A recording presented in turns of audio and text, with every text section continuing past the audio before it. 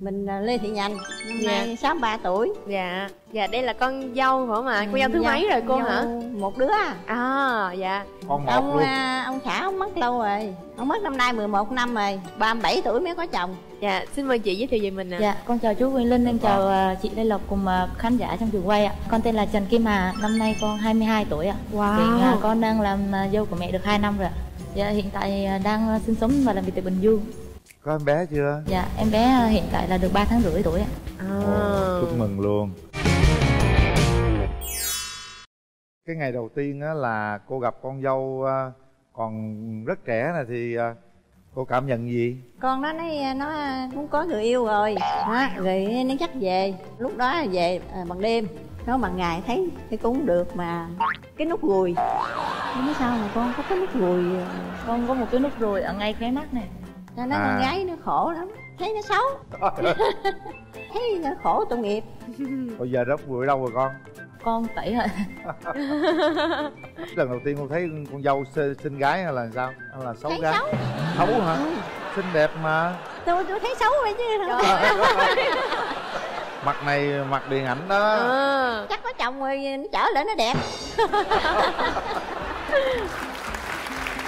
rồi cái lần đầu tiên khi mà hà gặp mẹ chồng đó Dạ. hà ấn tượng điều gì? Do là hai vợ chồng em á, là làm việc chung công ty Rồi quen nhau là chỉ có anh ấy là hay về nhà em chơi thôi. À. Còn em là chưa được về nhà anh ấy trong thời gian quen nhau. Chỉ khi mà hai đứa là quyết định là đi tới hôn nhân á Thì là bắt đầu là anh ấy mới dẫn con về nhà. Lúc đó là về Cà Mau là tầm chiều chiều á Thì tới khoảng chừng 3 giờ sáng, 3 4 giờ sáng á, tới nơi. Cái bất ngờ chút xíu là vô gặp nhà chồng á Tụi con cứ nghĩ rằng là những cái căn nhà mà họ nhà của chồng á nghĩ là những cái nhà đó là những nhà cổ hay là những cái nhà mà người ta Nhà dựng lên nhà dựng lên mà người ta để đóng phim á như À. kiểu nhà nhà đất lập lá xung quanh vậy á. À. đó là cái đó hơi bất ngờ xíu. Vô thì thấy nhà ông trống trơn à. Thế chồng bảo là nhà anh không có gì hết chỉ có mỗi cái máy bơm nước thôi. Bơm nước là chỉ giá 10 triệu tư thôi. Đó thế là nhìn vậy thì mới sau mới bảo với chồng là sao mà thấy mẹ sống một mình mà khổ quá thôi bây giờ vợ chồng mình mà có cưới nhau xong á thì mình đón mẹ lên trên thành phố ở với mình đi. Thì lúc đó gặp thì thấy mẹ hiền lắm mẹ không tức là tối rồi nên là mẹ cũng ít nói đến sáng mai bắt đầu hai mẹ con mới nói chuyện với nhau. Rồi cái lần nói chuyện đó thì cảm thấy mẹ là người như thế nào? Mẹ người hiền. Ừ. dạ, và hàng xóm xung quanh thì người ta nói ồ bà làm dâu bà đó là hiền lắm á. Nhưng mà cô sống một mình cô hả? Có mình à? Mình với cái máy bơm nước thôi đó hả? Ở nhà không có con cháu không có ai hết trơn á. Có mình nên à. Trời Dạ. đất ơi sao không lên ở với con trai hay là như thế nào vì đó? lúc đó thì nó có gãy làm đang làm làm mía. Rồi đâu có ờ, đi được. Thì sao nó đi cưới vợ rồi hai chồng mới nói thôi giờ mẹ cực khổ lắm có mình nên à ở đây á, đêm hôm thì bệnh hoạn không có ai. Dạ đúng rồi. rồi. Mẹ lên trên mẹ ở đi. Tôi lên ở thì cũng nấu cơm mà ăn buồn nằm. Bắt là vô nghe cái ờ, dâu nè nó mới nói thôi ờ, giờ em với anh sắm cho mẹ cái vô tiếng. Cho mẹ ở nhà mẹ coi chứ để bán bán ngồi nằm thấy buồn quá thấy tội nghiệp quá à. dạ. Ở chợ thì sáng ta đi hết rồi. Thấm vui tiếng coi mẹ chồng nàng dâu ha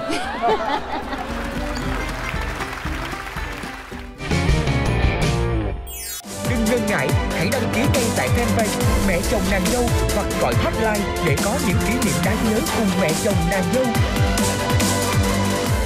rồi những cái ngày đầu mà mình mới cưới về đó mình có về nhà làm dâu mẹ được ngày nào không? Dạ có. Thì đám cưới xong vợ chồng là em nó bàn với à, anh xã của em á là đón mẹ lên liền luôn. Mình với mẹ như thế nào? Có có gặp khó khăn gì không? Lúc à, chỉ có khó khăn một chút xíu là lúc mà vợ chồng em mới cưới á Ừ. thì là mẹ thì mẹ rất là mong cháu. À. Cũng hay nói là có bầu này nọ sớm á thì em cũng lúc đầu em cũng chia sẻ mẹ là bảo bây giờ mẹ cho vợ chồng con 2 năm đi vì tụi con mới cưới nhau thì tụi con cũng cần làm kinh tế. Để từ từ một thời gian rồi tụi con có bầu thì mẹ thì mẹ không nói gì hết. Về sau thì mẹ có đứng nói mẹ bảo chứ bây giờ 3 năm không có con đó là trả dâu đó nghe cũng như mình hâm cho nó có bầu sớm sớm. Dạ. em thấy rất là áp lực vì cái chuyện là ba năm có con thì trả dâu thì lúc đó em mới cưới được có 4 tháng thôi. Dạ. Thì nghe cũng thấy buồn. Nhưng mà nói điều đó sợ có sợ con dâu buồn không? Thì nó buồn cũng phải chịu thôi. Qua bà xui chơi của bà xui nó cúng đất.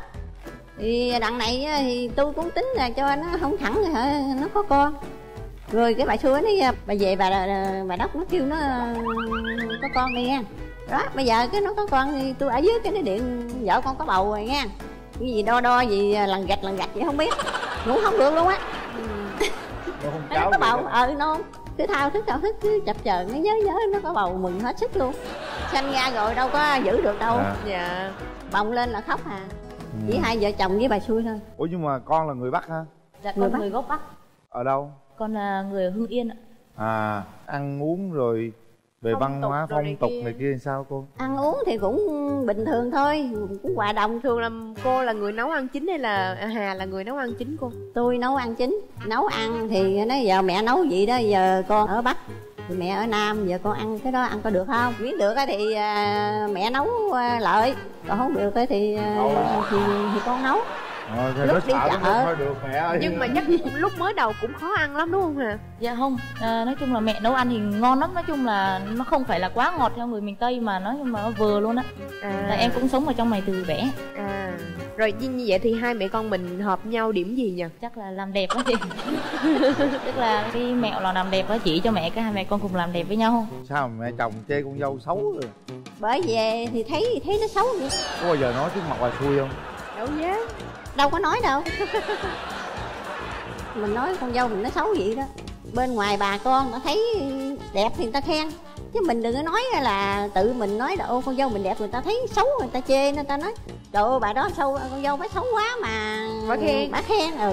Để cho bên ngoài người ta thấy người ta khen thôi. À, còn mình là mình cứ chê. Ừ mình cứ chê. Còn xấu quá. Dạ. Vậy là con biết là con đẹp lắm á ở nhà mình chê thôi dạ. Nói à, chung là mẹ cũng hay chê con xấu. Vậy hả? Dạ mẹ cũng hay bảo là à, bố mẹ con là sao mà anh xui đẹp trai quá mà chị xui nhìn đẹp gái mà sao đẻ ra con hàm mà nó xấu quá? Nói vậy anh xui chị xui là đẹp mà sao mà đẻ xấu quá vậy? Trời ơi cô ơi. Gương mặt này con gọi là gương mặt điện ảnh đó cô. Ta đẹp muốn chết mà chê À, xấu nó hoài hoài. Đôi khi nó buồn á. Đó. kệ buồn chịu chứ thấy lúc đầu thấy cũng buồn xấu. nhưng mà chê nhiều quá cũng không còn buồn nữa cứ về cái ăn cơm nó nói nha mẹ ơi mẹ sao mà anh kiệt uống cái sữa gì mà cao quá vậy? Mẹ mua cho con uống coi. Nói, trời cứ vậy hai à, hai hai tuổi rồi còn được uống sữa. Nói không ăn cơm rồi ngủ hai chồng rồi con nhỏ đi ra mua dây gì nhảy ăn cơm cái bụng no. Trời Đâu đất có- ơi. đâu có bốn năm đêm về rồi bỏ luôn. Hai mẹ con Tới mình chưa cười. hợp nhau điểm gì không hà? Một phần là phong tục hơi bắc nam một tí xíu á. Ờ. Mẹ hơi ờ, như là hơi mê tín một tí. Lúc mà em mới sinh em bé thì em bé mình nó còn trong cửa thì khó giống như là nó hay khóc nhẹ ờ thì lúc đó là em bé nó khóc thì mẹ có hai lần mẹ bảo với em là ôi đưa nó đi thầy đi. Đưa kiểu như đưa thầy cúng ấy xong rồi về nó người ở quê người ta làm vậy là hết không à? Thì lúc đó em giống như là em thì bảo thôi có gì nếu như trẻ nó bị gì mình đưa nó đi bệnh viện nếu nó khóc nhiều quá thì mình đưa nó đi bệnh viện. Chứ còn cúng thì con không có tin. Thì lần hai mẹ cũng gọi lại mẹ bảo bây giờ nó khóc nhiều quá thì thấy dỗ cực quá rồi. Thôi đưa nó đi thầy đi. Hết. ai cũng vậy hết. Hết không cô? Không. Thầy lễ phong chứ không phải là bệnh hoạn gì. Khóc mà thầy làm nín không? Ờ lễ lễ hết nó nín là nó không có giật mình nữa lễ lưng thôi. Kêu lễ phong cái cái kim lấy cái mai kim đồ hả? ờ cái kim lễ đồ đây hả? Là Ờ. nó, nó nín hả? Trời ờ đau không thức đêm không giật mình. Thì con cũng sợ. Sợ. À. Dạ. Nhưng mà ra tháng này em bé ngoan cực kỳ luôn. Con của con đưa đi lễ luôn á hả? Dạ không con không nó không đưa. con không đưa lên là chắc là làm nó không buồn. có mẹ cúng kiến gì hết trơn á. Rồi có buồn không? Buồn. Bây giờ đó khoa học nó tiến bộ không rồi. Ừ. ngày xưa mình có thể tin được nhưng bây giờ cái gì nó phải khoa học đôi khi con nít đó mình làm không đúng á đôi khi nó bị viêm nhiễm dạ đúng rồi. Hôm nay thì à, chồng con có gửi cho chương trình bức thư. À, chú sẽ đọc cho cả nhà nghe nha. Con biết là mẹ thương con nhiều lắm. Con mong mẹ sẽ thương vợ con y như vậy mẹ nhé. Vậy là nghi nghi là mẹ không thương nó thương vợ nó ít hơn nó đó. Vợ con mới sinh xong tính tình hơi nhạy cảm con mong mẹ đừng kể về người yêu cũ của con. Hay nói chơi, vu vơ làm vợ con buồn. Mà hãy bớt vô tư lại một chút xíu, mẹ nhé. Vợ ơi, anh biết em chịu nhiều thiệt thòi và thời gian khổ khi cưới anh. Anh mong em hãy thương mẹ anh như mẹ ruột em nhé. Anh mong vợ hãy nói chuyện chia sẻ với mẹ nhiều hơn nữa. Hãy cứ yên tâm để mẹ chăm sóc cháu nhé với có một chuyện mẹ nhớ không? Lần đó đó, vợ con mang bầu vượt mặt rồi. Hai vợ chồng thì đều đi làm tối về. Ăn cơm xong, thấy vợ rửa nhiều bát quá, con với phụ vợ chán bát thì mẹ dành không cho con làm. Tính con ít nói, nên con không biết phải nói sao cho đẹp lòng mẹ và đẹp cả lòng vợ nữa. Lại để vợ làm một mình, vợ lại buồn. Con rất là khó xử. Con mong là sau khi tham gia chương trình hai mẹ con sẽ hiểu và thương nhau nhiều hơn. Sao con thấy hơi hơi chồng con viết được không? Vì đó giờ chồng con rất là ít nói luôn, không bao giờ mà lãng mạn được như vậy. À. Hôm nay viết rồi rất là xúc động. Cô thấy sao cô? Con cô nó hiền nó ít nói lắm. Nó có bao nhiêu chuyện thì nói bao nhiêu à. Dạ. Nhưng mà ảnh có nói là cái điều là cô hay vô tư á. Nhắc cái người yêu cũ á Mẹ thì hay kể, bữa mẹ kể Kể bữa nó dẫn con, hồi trước nó dẫn con nhỏ kia nó về, nhỏ nó cao lắm Xinh lắm, nhỏ đó là xứng với anh Kỳ rồi đó. Nghe cảm giống như con không xứng. Thôi mình có con dâu quá tuyệt vời vậy rồi đi so sánh chi? Mà con dâu nó mới đẻ cho mình đứa cháu nữa phải đúng ý cô không? Đúng, Đúng. không? Nói để đứa cháu mạnh lắm. Dạ. À. Cưng luôn. Dạ được rồi. Ờ, con trai nói rất đúng chỗ này là có lẽ là con trai là con một mẹ quá thương con, nên không có thương ai nữa hết trơn á. Ấy cái đó cũng là một cái thiệt thòi của cô con dâu mình. Nhưng mà chú nghĩ thế này nè, con không biết tính mẹ rồi, mẹ nói vậy thôi, cũng vô tư thôi, chứ mẹ không có không có để bụng gì hết á. Thậm chí đôi khi mẹ hơi vô tư, ở mình nó quen rồi. Theo con nghĩ thế này nè cô, con một thì dâu cũng là dâu một à thì con dâu thì con dâu cũng như con gái. Nhiều khi thương hơn con trai một luôn á. Rửa thì đứa nào rửa cũng được hết trơn á. Mà thấy nó mệt. Thấy Nhưng mà nó không rửa thì tôi cũng rửa nữa. Nhưng mà đây nè mang bầu bụng bự đứng rửa chén còn mệt hơn nữa đó đúng không? Một hai lần đó thì rồi rồi không Dạ. còn nữa. Thế sau này cô cho con trai mình phụ vợ không? Cho chứ. Cô muốn có cháu nữa không?